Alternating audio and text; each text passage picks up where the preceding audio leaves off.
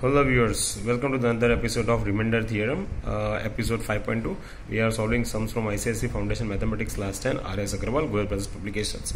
Uh, before we go for the example, I want to show you a division of algorithm for polynomials.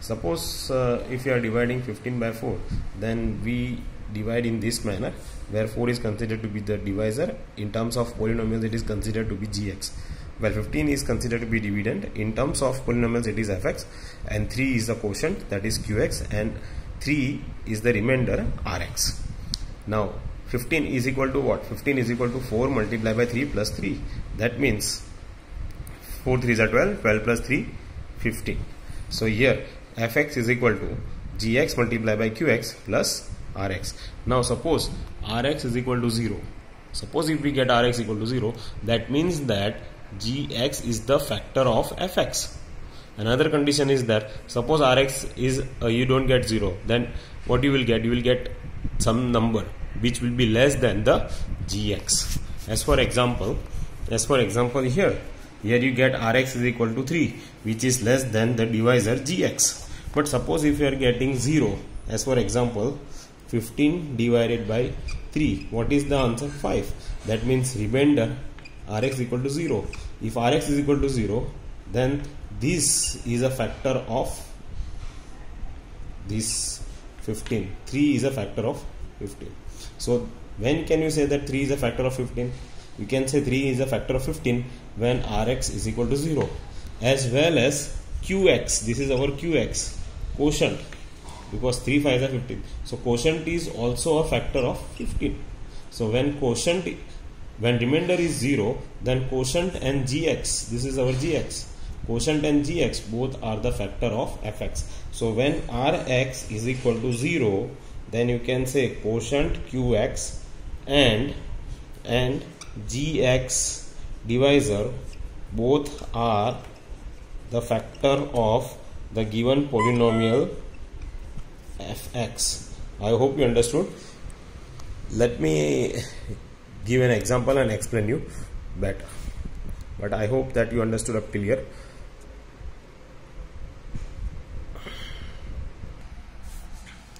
So let us take an example. Fx is equal to x square plus 5x plus c. And we have to prove that x plus 2 is a factor. I have done two methods here. Uh, first method just replacing the value of x uh, x equal to minus 2 I'll show you how it how it takes place so now our answer begins from here. If x plus 2 is a factor, suppose x plus 2 is a factor, then remainder will be 0. We know that that if any uh, division if we do and if we get remainder 0 then the divisor and g that quotient that is gx and r qx both are both are the factors so this takes place only if rx is 0 now suppose rx is 0 in this case then x plus 2 is equal to 0 so plus 2 goes this side so it becomes minus 2. Now placing the value of x as minus 2 we and solving it and simplifying it we are getting x minus f, f minus 2 is equal to 0. That means it is true that we are getting the by replacing the value we are getting 0. That means x plus 2 is a factor of fx x square plus 5x plus 6. So this is one method. Another method you divide and see that you are getting remainder 0 or not. So x plus 2 as a divisor and dividend is x square plus 5x plus 6. Now x square here it is here it is x. So with what you multiply to get x square you multiply with x. So x into x x square x into 2 that is 2x. Now division we do minus. So x square x square cancel so it becomes 0. So 5 minus 2 the new sign is minus because this minus plus becomes minus. So 2 minus 2 3 and from the uh, remaining one plus 6 comes down. Now you get 3x. Here we are having x. So with what you multiply to obtain 3? 3x you multiply with 3. 3. So 3 into x 3x plus 2 multiply with 3 it becomes plus 6. In division we do minus. Minus plus minus. So minus it becomes 3 minus 3 0 plus minus becomes minus. So 6 minus 6 becomes 0. So we are getting remainder Rx equal to 0.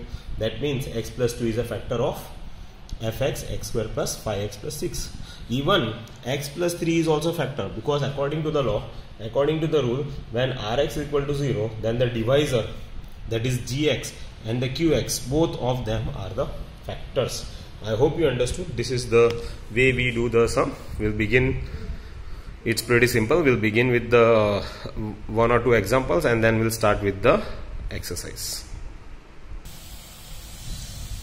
So here we are taking one example in which uh, trying to make it little bit complex. Here it says show x minus 1 is a factor of x cube minus 7x square plus 14x minus 8 and it is asking us to factorize it completely. First of all we have to find out that x minus 1 is a factor so now answer begins from here. To show x minus 1 is a factor, then remainder is equal to 0. Therefore, rx is equal to 0. Therefore, x minus 1 is equal to 0. 1 minus 1 goes this side, it becomes 1. So, replacing the value of uh, x by 1 and simplifying it, we are getting minus 14 plus 14 is equal to 0. So, when we are placing the value of x as 1, we are getting 0. That means x minus 1 is a factor. Therefore, we can write x minus 1 is a factor of fx is equal to x cube minus 7x square plus 14x minus 8 now our sum sum does not doesn't complete here. It is asking us to factorize. So we require to find the other factors. So for finding out the other factors we need to divide it. So we are dividing it. So x minus 1 uh, is the divisor and x cube minus 7x square plus 14x minus 8 uh, is the dividend. So now here we are having x cube. Here we are having x cube. And here we are having x. With what we multiply to make it x cube? With x square. So x square multiplied by x x cube. X square multiplied by minus 1 minus x square. So in division in division we are doing minus. So minus minus minus becomes plus. The new sign is the new sign is plus.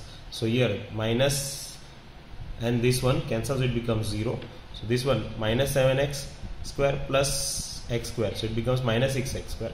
From the uh, upper part we are getting plus 14 remainder that is coming down. So here minus 6x square plus 14x is a part. So minus 6 square 6x square here we are having only x. So multiply with minus 6x we are getting minus 6x so plus 6x so now new sign minus minus because plus so this one is cancelled minus plus becomes minus. So 14 minus 6 is 8x from the top it comes minus 8 so here minus 8 now here we are having x and here we are having 8x so here 8 multiplied by x gives us 8x 8x minus 8 8x minus 8 so minus this one cancel minus minus plus both of them cancel becomes 0 so that means it is a factor. That also we are proving it as well as we are factorizing it. x minus 1 x square minus 6x plus 8 so we write like this and afterwards we make it in a simple manner. So fx equal to x cube minus 7x square plus 14x minus 8 is equal to x minus 1 bracket x square minus 6x plus 8 x minus 1 x square minus 4x minus 8 2x plus 8 x minus 1 we are simplifying x square minus 6x plus 8 as uh, the factors that what we have studied in 8th and 9th standard and then we are simplifying it to obtain the value as x minus 1 x minus 4 and x minus 2 so this is our answer. So first thing we are proving it that it is a factor and in the second part we are we are obtaining the complete factorization of the fx x cube minus 7x square plus 14x minus 8 so this is how we do the sum. It is 3 marks question. Sometimes they are also asking for 4 marks in the compulsory sections. I hope you understood this sum. We'll see you in the next episode.